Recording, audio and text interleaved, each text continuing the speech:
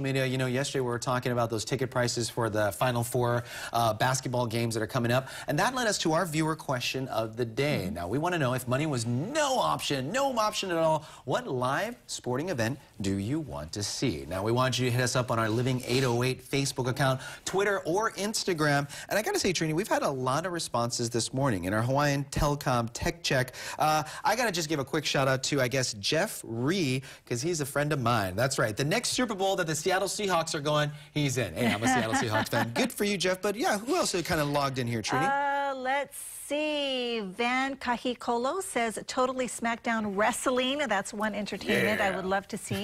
money, if money was no uh, issue. Mm-hmm. And Shawnee Hedberg says the U.S. Open tennis. At, Ah. uh, yep, in Queens, New York. I love that. Now, Trini, I got to say, a little bit earlier we were talking about, I made the joke about UFOs and Kauai and the eating thing. Hey, mahalos out there. Want to say mahalos to one of our friends, Debbie Furutani Oh. Coons. Now, she just said that right here. Here we go. Got a picture of it. UFOs from Kauai. It's Gothenburg sausage, rice, and furikake, and they kind of make it into a UFO thing. Oh. There you go. And on Kauai, I guess you to go to a Lawai market. They have it there. But mahalos for that. And yes, that's what they look like. They're what quite I like is that she called you Tino. Yeah, sorry. of it's all right. Tyso. I mess up on names all the time I think she put both of our names together. Yeah, so that's kind of cool. But then John Bird, uh, 24 hours, the Le Mans race. That's a very good one. But again, I, I, I like that our viewer sent in the picture of the Mm. Yes, UFO. thank you. Now I know.